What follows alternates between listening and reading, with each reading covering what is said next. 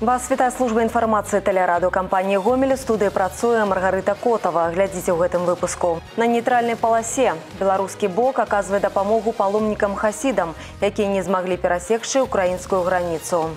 Клятва на вернасць радзіме. Маладыя супрацоўнікі гомельскай мытні сёння прынеслі прысягу.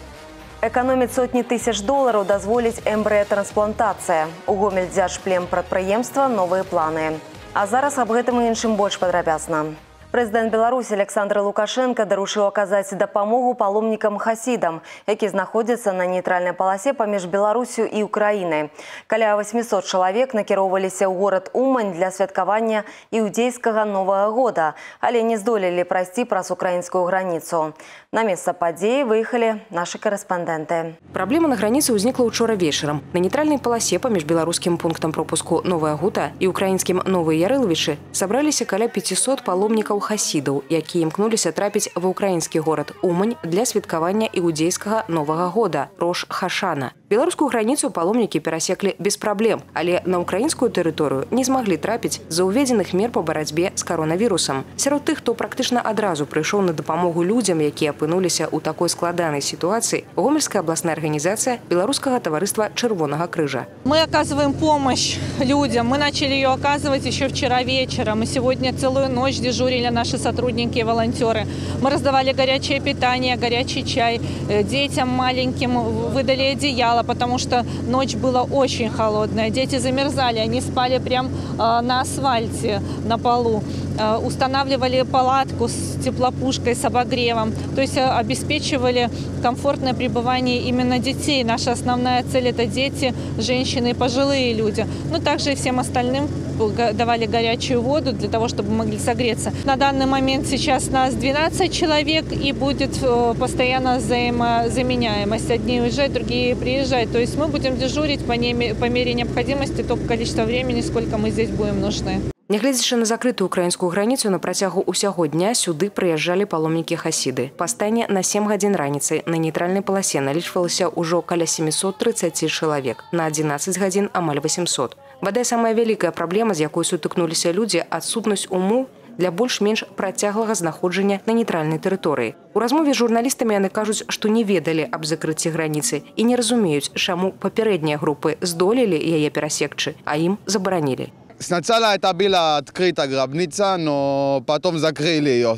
Сказали, что можно ехать, можно, э, много людей ехали здесь, но когда мы приехали в гробницу, сказали, что это закрыто. Мы только хотим Уман на Новый год, евреи, быть на Уман. Есть там много людей, есть там э, мусульман, есть там христиан. И тоже еврей э, хочет на Уман.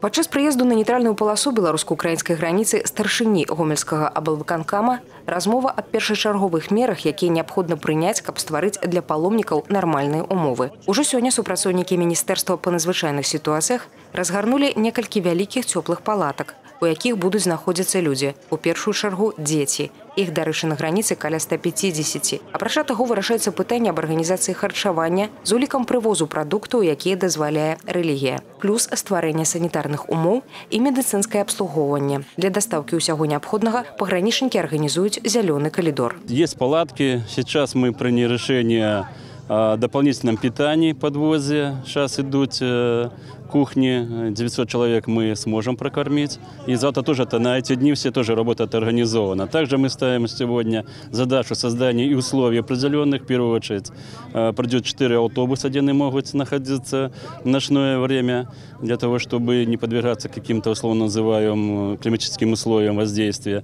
Ну и, конечно, создадим условия. Это биотуалеты, подвезем воду, создадим элементарные условия. Но остальное уже за действиями другой стороны для того, чтобы принять решение по их дальнейшему продвижению. Пераважная большасць паломнікаў, якія знаходзяцца на нейтральнай паласе беларуска-украінскай граніцы, грамадзяне Ізраіля. Разам з імі паляпшэння сітуацыі чакаюць таксама жыхары Великабрытаніі, ЗША, Францыі і Польшы. Меры, якія зараз прымае беларускі бок, ацэньваюцца адназначна. Словы Беларусь гуд тут можна пачуць часта. Пры гэтым паломнікі вельмі спадзяюцца, што з дапамогай нашай краіны сітуацыя вырашыцца на іх карысць. We want to say thank you мы хотим поблагодарить Беларусь и ее правительство. Прекрасные, очень добрые люди. Спасибо за готовность помочь. Кроме того, спасибо Украине за то, что они все-таки откроют границы. Олег Сенцюров, Ольга Коновалова, Валерий Гапанько, телерадиокомпания «Гомель» с белорусско-украинской границы. Законнасць, сумленнасць і непадкупнасць маладыя супрацоўнікі гомельскай мытні сёння прынеслі прысягу. Урачыстае мерапрыемства прымеркавалі да надыходзячага дня мытніка. Галоўныя ўдзельнікі 12 юнакоў і дзяўчын. Цырымонію правялі ў музеі гісторыі гомельскай мытні, таму маладых людзей падзялілі на групы. Кіраўніцтва арганізацыі павіншавала моладзь са знамінальным днём і адзначыла. Іх чакае работа, якая патрабуе ўвагі, сур'ёзнага ведання заканадаўства і пастаяннага самаўдасканалення. Абавязак нового поколения прытрымлівацца галоўнага ориентира сумленности. Интересная динамичная работа в то же время возлагает на плечи огромную ответственность. И осознание этой ответственности приходит именно с принесением присяги.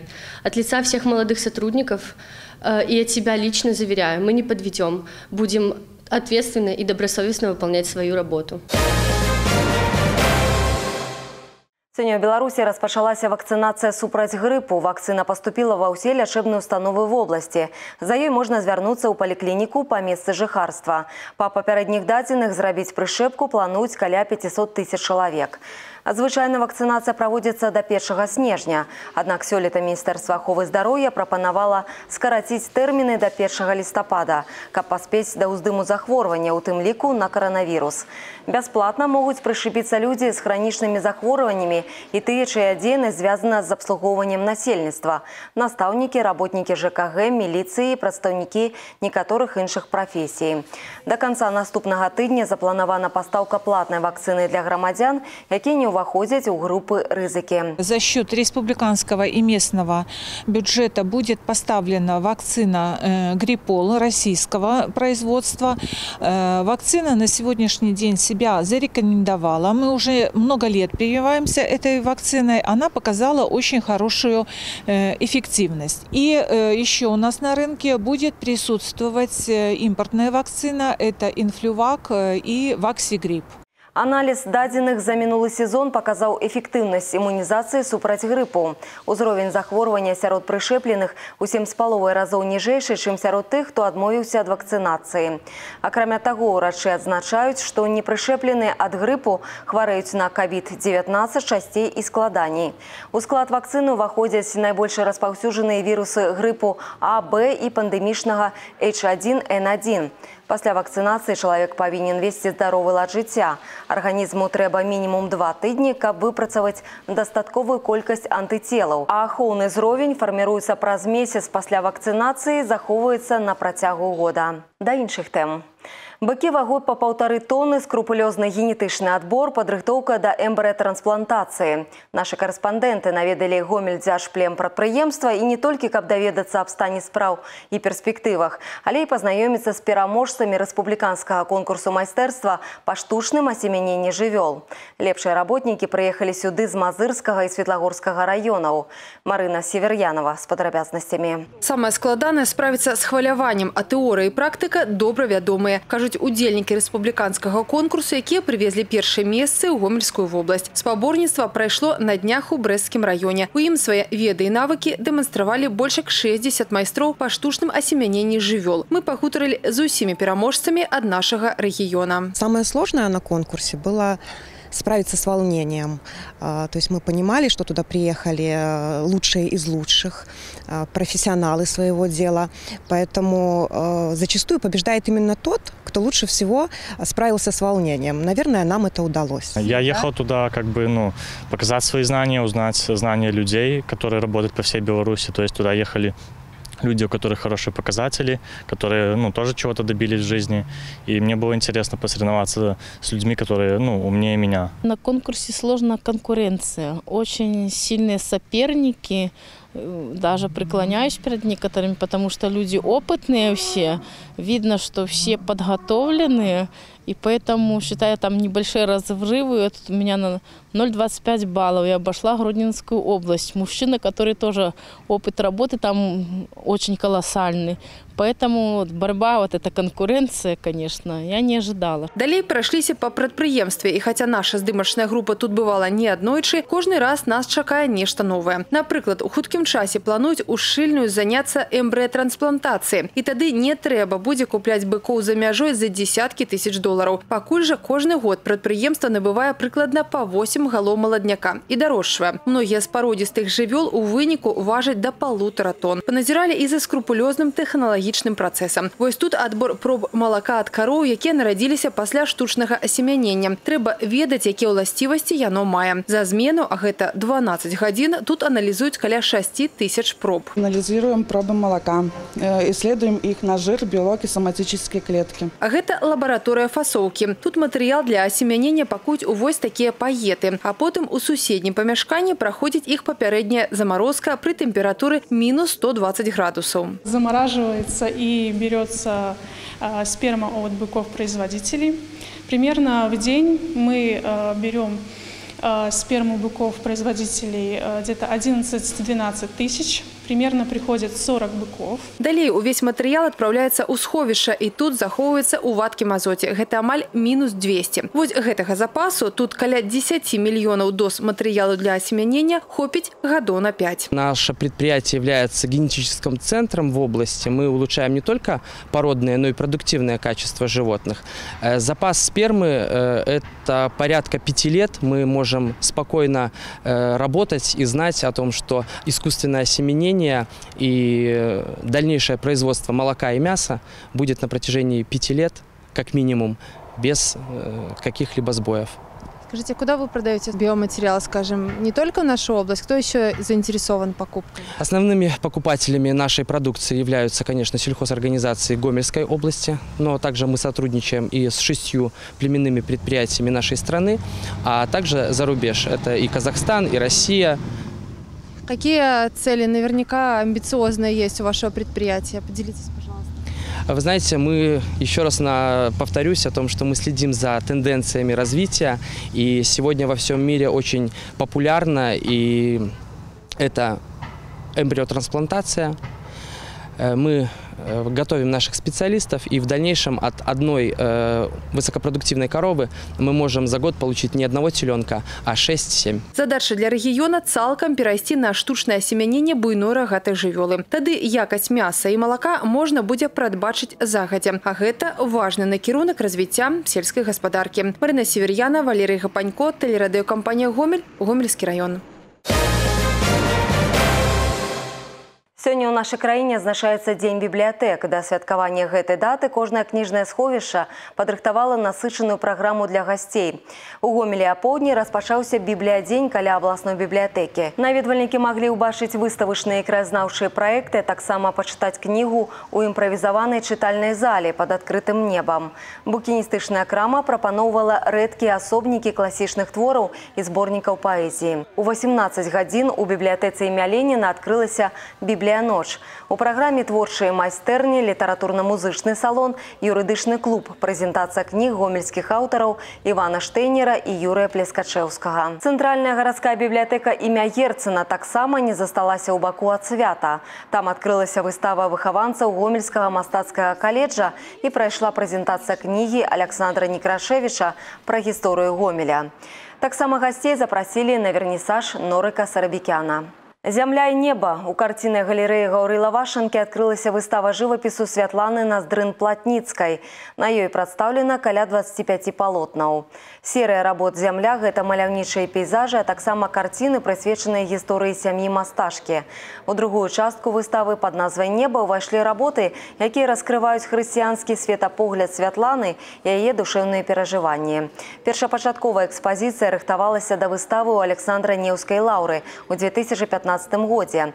Праз 5 гадоў яе дапоўнілі новыя карціны, у тым ліку апошняя выява святой матухны манефы, напісаная па благаславенні архіепіскапа гомельскага і жлобінскага Сцяфана. Центр экспозиции – работа под назвой «Данила Заховальника». Работа, которая за нами, к ангелу-хранителю, она э, работа 1999 года, которая висела на этом месте 21 год назад на такой же выставке в этом зале, тоже по центру. И были совершенно разные другие работы, но не эти. То есть были другие работы того периода, написанные в период 98-99. Это была первая персональная выставка в Гомеле, 21 год, можно сказать, что вот время прошло. И сейчас работы, они включают в себя как работы нулевых, так и работы вот последнего 19-20 годов. Святлана Наздрын-Платніцкая, член беларускіх саюзаў мастакоў і дызайнераў, удзельніца рэспубліканскіх і замежных выстаў. Яе работы знаходзяцца ў нацыянальным мастацкім музеі Беларусі і фондах Міністэрства культуры. Гэта іншыя навіны, інфармацыю о праектах тэлерадокампаніі Гомель вы можете знайсці на нашым сайце ў інтэрнэце па адрасе www.tvrgomель.бай. На гэтым выпуск завершаны. Усяго добрага і да сустрэчы ў эфіры. Де-факто на телеканале «Беларусь-4» Гомель в студии Александр Гамоля. Здравствуйте. В Рогачевском районе женщина подожгла бывшего мужа, а потом попыталась покончить с собой. Столь активным действием предшествовал конфликт, который произошел между супругами на почве ревности. 13 сентября 50-летняя женщина поссорилась с мужем. Она облила его бензином и подожгла. Огонь быстро распространился по одежде и по дому. Мужчина выбежал на улицу и смог потушить на себе пламя, а женщина попыталась покончить с собой. Обоим вовремя оказали медицинскую помощь. Мужчина с ожогами различной степени тяжести в больнице. Дом спасли соседи, которые заметили пожары и вызвали МЧС. За покушение на убийство возбуждено уголовное дело. Задержан бесправник, который смог уйти от погони ГАИ в Турове. Инцидент произошел 6 сентября. Внимание экипажа привлек тонированный ВАЗ без регистрационных знаков. Инспекторы подали водителю сигнал об остановке, но тот пошел в отрыв. В ходе преследования водитель автомобиля «Жигули» грубо нарушал ПДД и создавал угрозу безопасности дорожного движения. В какой-то момент он выехал в поле и там скрылся.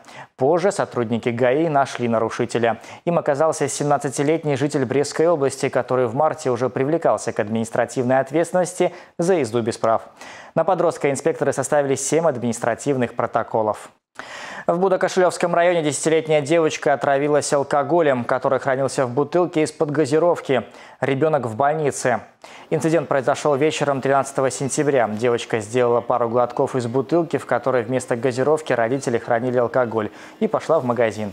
По дороге она почувствовала недомогание, а вскоре потеряла сознание.